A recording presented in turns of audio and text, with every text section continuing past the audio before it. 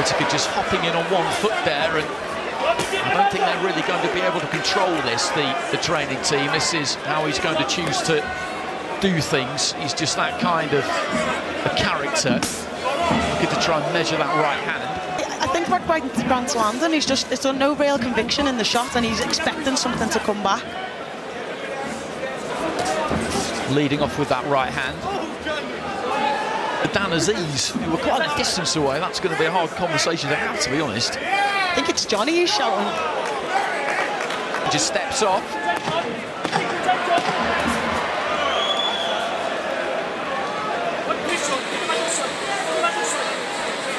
Just trying to beckon Grant in towards the end of the first round.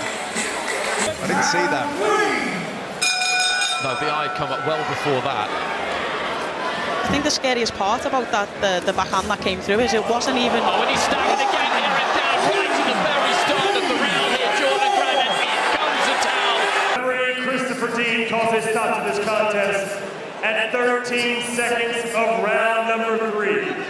Declaring winner by TKO and still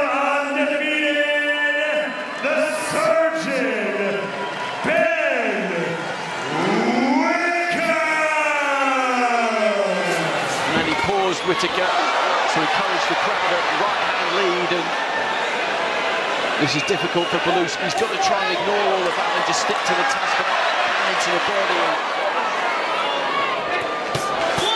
Doubling up on the left hand to the body as instructed.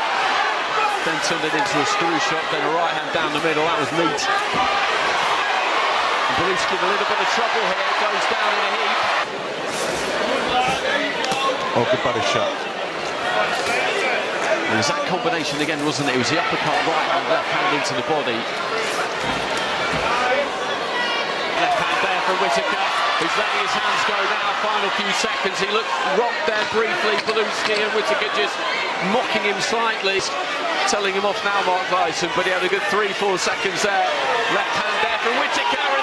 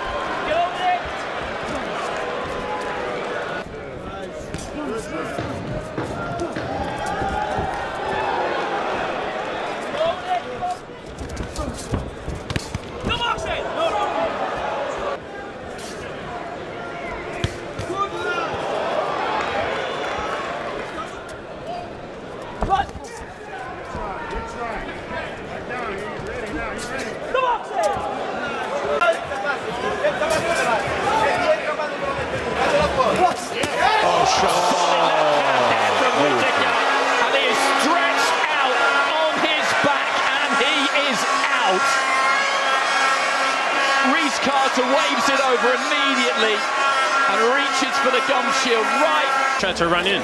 The right hand stopped him running in. And that hit him on the button and then the hook. That's just what caused the ending. Exactly. A referee described it to me once as when a fight.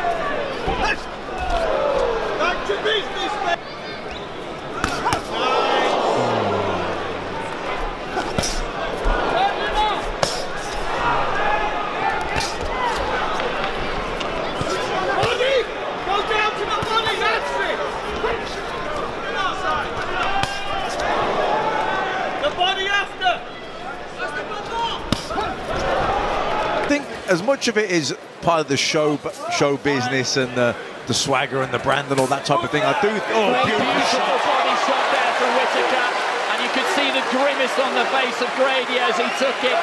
And right hand there from Whittaker to the head, then down to the body. He, he has had his own successes, just obviously not enough. That was a great body shot from Whittaker, and he felt that his hand dropped immediately. In a little bit of trouble here, backs up to the corner, sinks down onto the bottom rope. In comes the towel, and just as he was ordered to by the corner, Ben Whittaker provides the finish. In this fifth round, has said that when you talk the talk and you behave like he does, you have to walk the walk. And everybody at ringside appreciates somebody In Tokyo, the much anticipated debut of Benjamin Whittaker from the West Midlands. It's an exciting time. There's massive expectations of him. And he's showboating within 30 seconds of his debut, Tash. Because he's got so much talent, he, he probably has to work harder because there's so many different areas that he can exploit. Winding up his punches, and O'Neill doesn't know where they're coming from. Whittaker playing to the crowd, and this is what we're going to get with him.